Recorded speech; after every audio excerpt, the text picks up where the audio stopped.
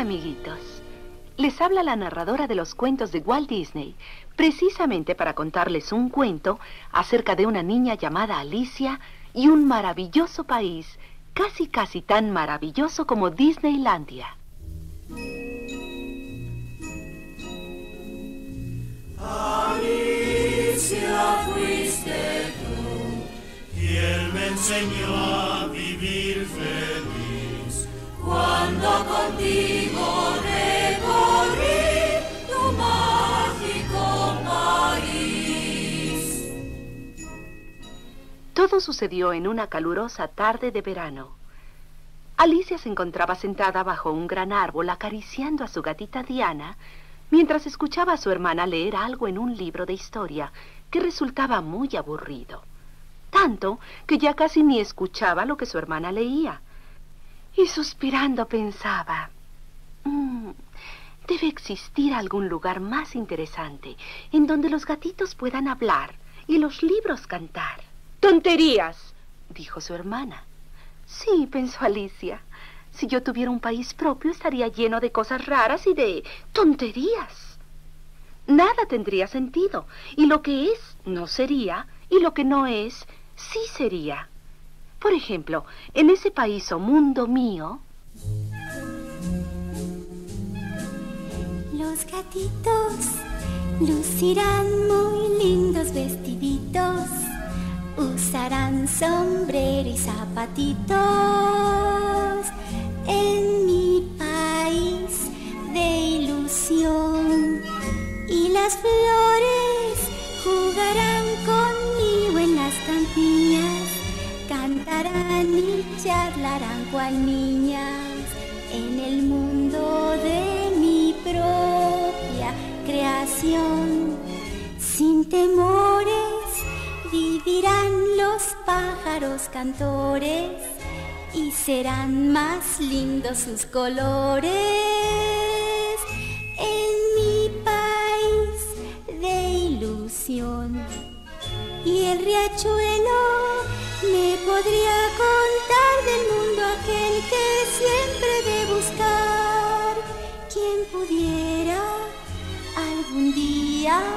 las maravillas que soñé feliz.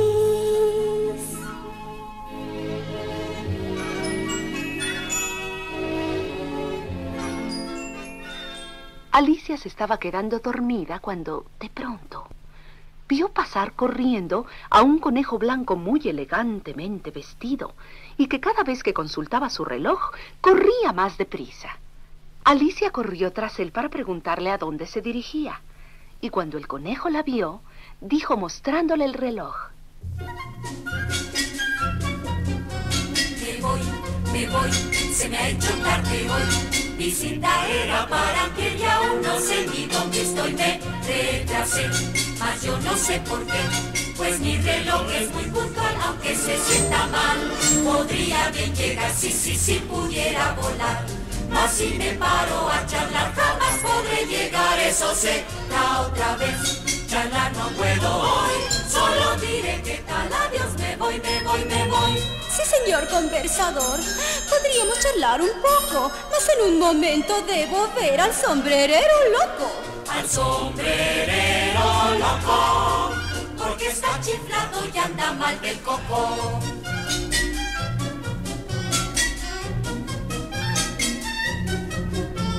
Veré a la reina de los naipes que ya me está esperando. Y cuando termine veré a Alicia que ya me está buscando. La reina está esperando y después Alicia que me está buscando. Me voy, me voy, si me hablan ya no estoy. Charlar no puedo, hoy adiós me voy, me voy, me voy, me voy, me retrasé. Y aún no sé por qué. La cita era para antes y yo lo supe ayer. Podría bien llegar si, si, si pudiera volar. Mas si me paro a charlar jamás podré llegar, eso sé. La otra vez charlar no puedo hoy. Solo diré que tal, adiós, me voy, me voy, me voy, me voy. Se me hizo ya muy tarde hoy. Que charlar no hay. Adiós, adiós, adiós, me voy, me voy, me voy, se me hizo ya muy tarde hoy. Adiós, adiós, me voy, me voy, se me hizo ya muy tarde hoy. El conejo corrió y se metió por una cueva. Alicia lo siguió y al entrar en la cueva resbaló y empezó a caer en un precipicio. Luego, flotando como si fuera en paracaídas, llegó hasta el fondo y por poco cae arriba del conejo, que escapó corriendo por un laberinto de corredores para luego desaparecer por una pequeña puerta. Junto a la puerta había un frasco, y cuando Alicia probó su contenido, se hizo pequeñita, tanto que bien podía pasar por la puertecita, pero no podía alcanzar la llave que estaba sobre la alta mesa. Alicia entonces mordió una galleta que la hizo crecer tanto que pegó con su cabeza en el techo. Al verse gigante, Alicia comenzó a llorar lágrimas tan grandes que empezaron a llenar el cuarto de agua. El frasco subió flotando y Alicia pudo alcanzarlo. En cuanto bebió del frasco, se achicó, pero ahora mucho más, por lo que quedó atorada en el cuello del frasquito y junto con este se fue flotando hasta pasar por el ojo de la cerradura.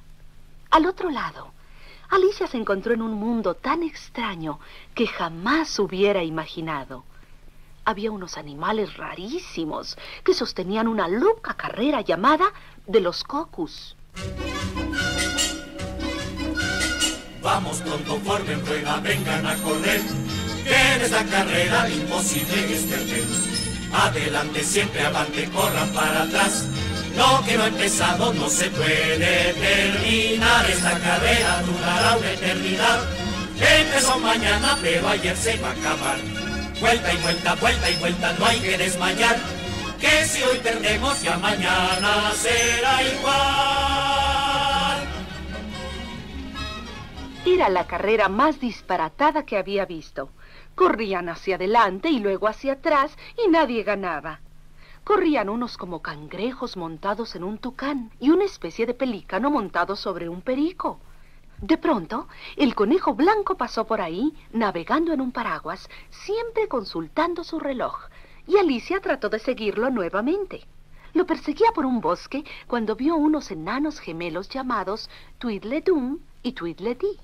Cuando la chica quiso escapar de ahí, la acusaron de ser poco amable. Entonces Alicia les preguntó si habían visto al conejo, y en vez de contestarle, cantaron la canción de la morsa y el carpintero. En vez luna el sol salió la noche a calentar, y en esa noche de calor viviendo estaba el mar, y por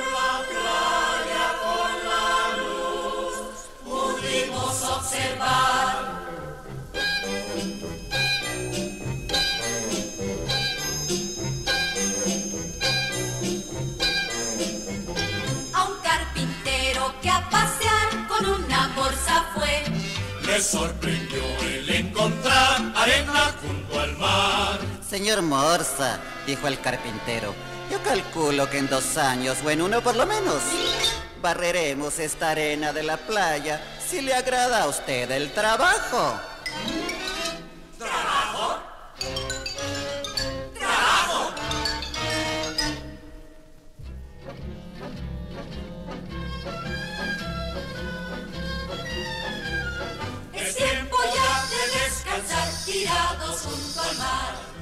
No te pongas a barrer la playa su arena.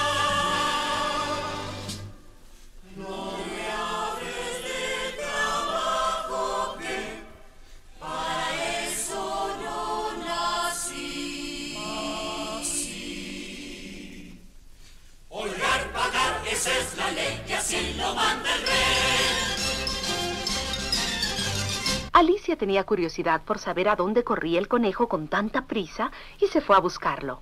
Al fin encontró una linda casita en el bosque y al entrar por la puerta del frente vio al conejo salir corriendo por la de atrás.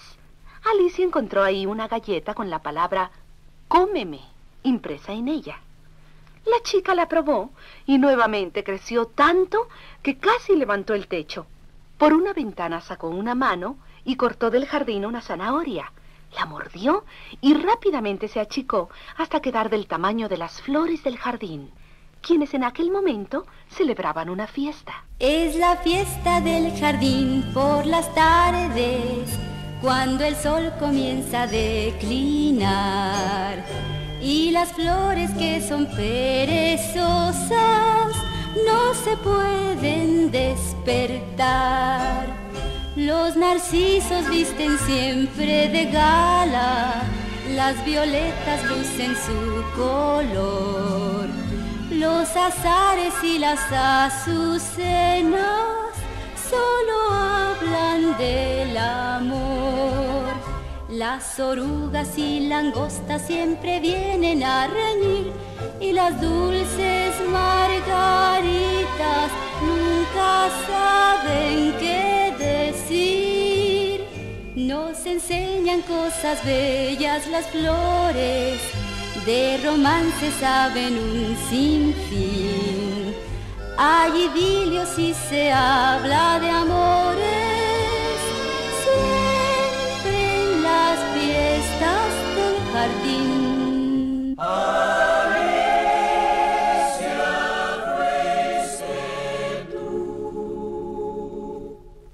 En el jardín, Alicia encontró a una oruga que fumaba en pipa y arrojaba humo en forma de letras. La oruga le dio a comer un hongo mágico para que Alicia pudiera reducir a su tamaño normal. Cuando lo logró, Alicia volvió a correr en busca del conejo, pero de pronto se le apareció el famoso gato Rizón. A este absurdo gato le gusta aparecer y desaparecer en pedazos, pero siempre riendo. Cuando Alicia le preguntó por el conejo, todo lo que hizo fue desaparecer su cuerpo y solo dejar visible su sonriente boca y blancos dientes.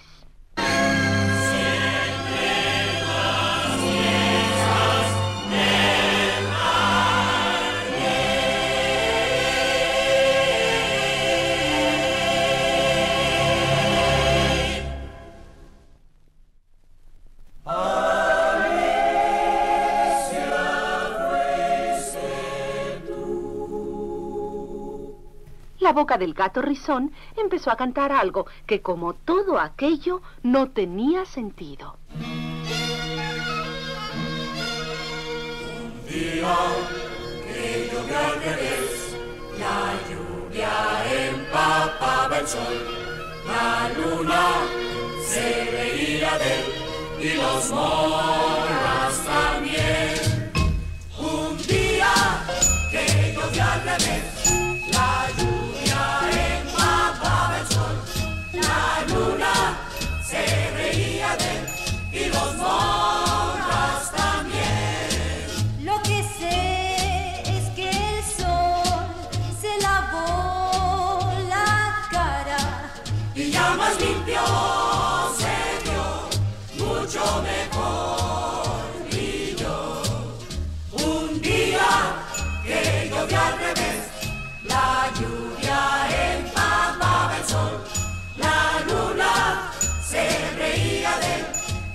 Y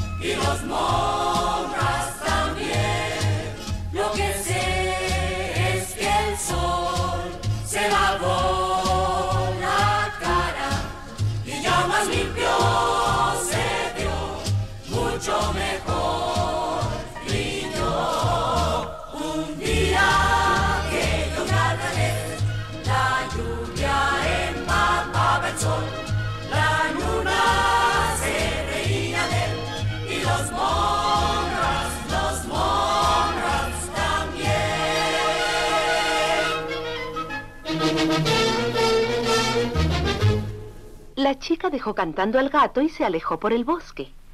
Pronto fue a dar con el sombrerero loco y con la liebre de marzo que celebraban una fiesta tomando té. El alto sombrero del sombrerero y las largas orejas de la liebre apenas si se veían por sobre la nube de vapor que salía de las teteras. Al salir el vapor, las teteras pitaban y tocaban una alegre melodía. Alicia se ocultó tras una silla de la larga mesa para observar al sombrerero y a la liebre tomar tazas de humeante té, mientras cantaban la canción del No cumpleaños.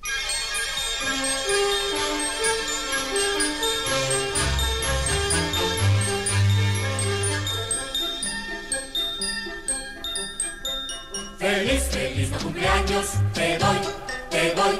Feliz, feliz no cumpleaños, te doy, te doy. Si nadie se interpone, lo debemos celebrar. Feliz, feliz cumpleaños, te doy. Cumplimos años tan solo un día, un día y nada más. Los otros 364 días del año, No cumpleaños esos días son. Feliz, feliz cumpleaños el día de hoy. Si nadie se interpone, lo debemos celebrar. Feliz, feliz cumpleaños te doy.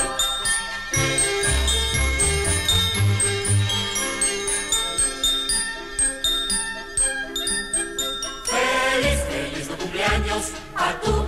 ¿Pa yo? Feliz, feliz no cumpleaños a tú. ¿Pa yo? Hoy es mi no cumpleaños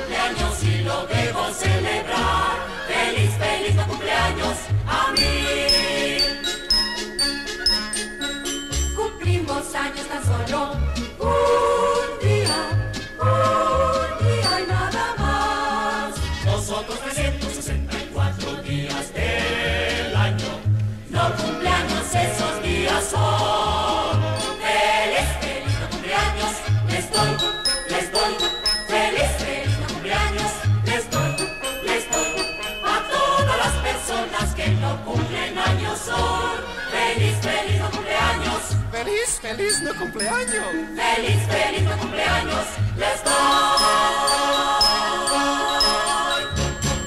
De pronto, el conejo blanco interrumpió la fiesta para preguntar qué hora era. Y cuando el sombrerero y la liebre le hicieron notar que su reloj tenía tres días de atraso, se puso furioso. Con razón se le había hecho tan tarde. La discusión acabó en pelea y el sombrerero y la liebre arrojaron al pobre conejo con reloj y todo tras una alta barda. Así que de nuevo el conejo desapareció y Alicia se quedó como al principio.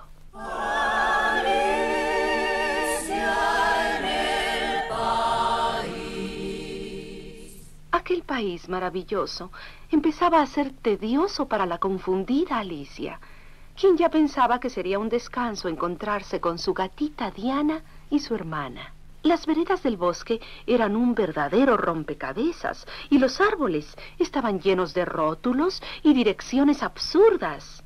Había pájaros paraguas bañándose, pájaros lapiceros escribiendo y pájaros martillo clavando y martillando hasta aturdir a la pobre chica. ¡Ah, qué alivio! pensó Alicia. Si algo de todo esto tuviera sentido.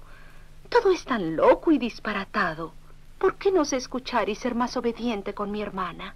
Si escuchara sus consejos, no estaría ahora metida en tanto enredo. ¿Por qué es que siempre hago lo que sé que no debo hacer? Debía seguir y obedecer los consejos buenos que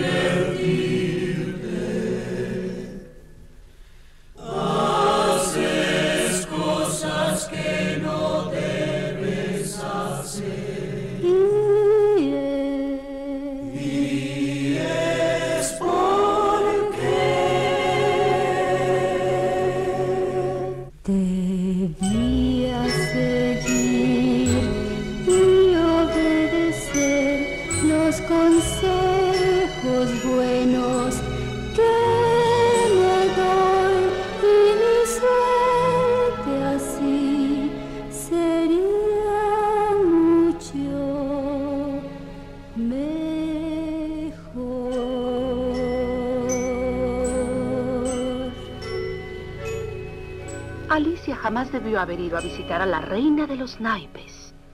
Era una reina tan cruel y despiadada que mandaba cortar la cabeza de sus súbditos solo porque pintaban de blanco las rosas que ella quería rojas.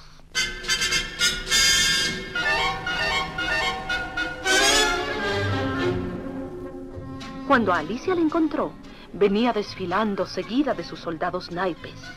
Y con gran sorpresa vio a Alicia que quien venía presidiendo el desfile, tocando una trompeta, era el conejo blanco, quien al pasar frente a la chica hizo como que no la conocía. La reina se enojó mucho cuando Alicia le dijo que ella ahí solo trataba de encontrar su salida. ¿Tu salida? Gritó la reina. Todo en este reino es mío. Nada es tuyo. Recuérdalo. Enseguida cambió y muy amablemente invitó a Alicia a jugar con ella un partido de golf. Alicia aceptó y dejaba a la reina ganar para que no se enfadara, pero de pronto se apareció el gato rizón. Nadie más podía verlo, solo hizo que lo viera Alicia. Y por su amplia sonrisa, Alicia adivinó que venía en plan de divertirse haciendo maldades. Y así fue. Cuando la reina enarboló el palo para pegarle a la pelota, el malvado gato la trompicó y la hizo caer de cabeza en el hoyo. La tierra tembló con estrépito al caer la voluminosa reina, pero tembló más cuando se levantó y empezó a gritar que Alicia tenía la culpa de todo, que le cortaran la cabeza. Hasta el pobre rey temblaba junto con Alicia y con miedo sugería que cuando menos se le formara un juicio antes. Pero que sea un juicio injusto. rugió la reina, al mismo tiempo que se sentaba en el lugar del juez diciendo, Yo me encargaré de que se haga injusticia. y enseguida acusó a la pobre de Alicia de haberla forzado a jugar golf, solo para hacerla tropezar y caer de cabeza. Imagínense qué clase de embustera era la reina. Fue aquel un juicio horrible. La reina gritaba a más no poder, acusando a Alicia. A los testigos que se atrevían a protestar, de inmediato les mandaba cortar la cabeza. El sombrerero loco y la liebre declararon solo tonterías en contra de Alicia. Y cuando declaró el conejo blanco, sucedió igual. Todos estaban de parte de la reina. Alicia ya veía llegar su ejecución cuando por accidente cayó en una gran taza de té y cuando salió a la superficie a respirar, se encontró a las puertas del país de las maravillas, siendo aún perseguida por la reina y sus soldados. Al otro lado de la puerta podía verse ella misma durmiendo con su gatita en el regazo. Y enseguida escuchó la voz de su hermana que le decía, Alicia, despierta. ¿Estás soñando? Ah, despierta, Alicia.